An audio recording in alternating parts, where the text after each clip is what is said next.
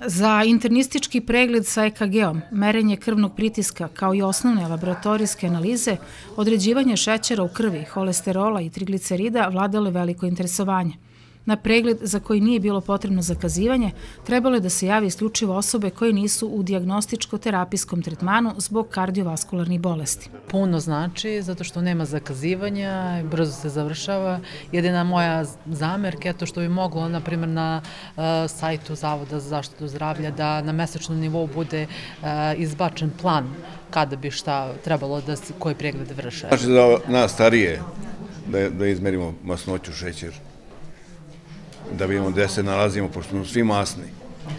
I gojazni i masni. Želim da ne dolaze samo penzioneri, nego i mladi ljudi koji mnogo rade, mnogo su uzbuđeni, a kad su pregledi nedeljom, onda mogu da izdvoje malo vremena za svoje zdravlje. Ovo mi je drugi put.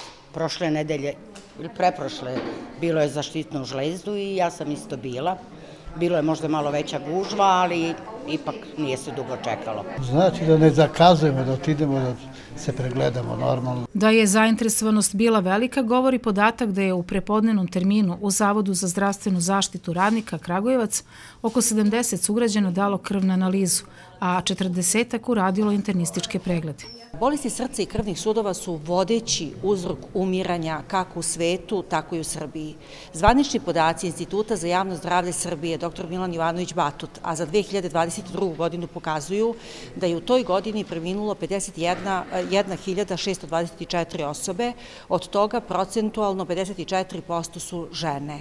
E, najveći procenat od, e, od te neke široke palete bolesti koju čine bolesti srca i krvnih sudova su upravo ishemijske bolesti srca, kao i cerebrovaskularne bolesti.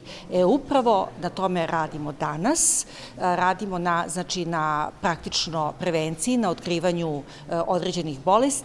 Prevencija i rano otkrivanje određenih bolesti su veoma bitni za uspešno lečenje pacijenta. Zato su danas na preventivnim pregledima lekari govorili o određenim faktorima rizika kao što su visok krvni pritisak, gojaznost, smanjenje fizičke aktivnosti i pušenje.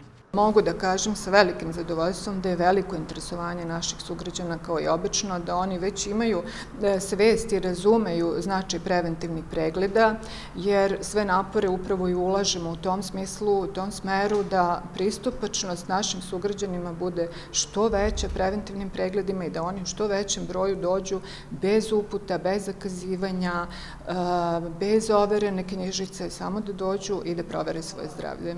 Veliki broj pacijenata javio se za besplatne preventivne preglede i u Domu zdravlja Kragujevac, gde je do 12 časova 140 pacijenata uradilo laboratorijske preglede, a čak 50 internistički.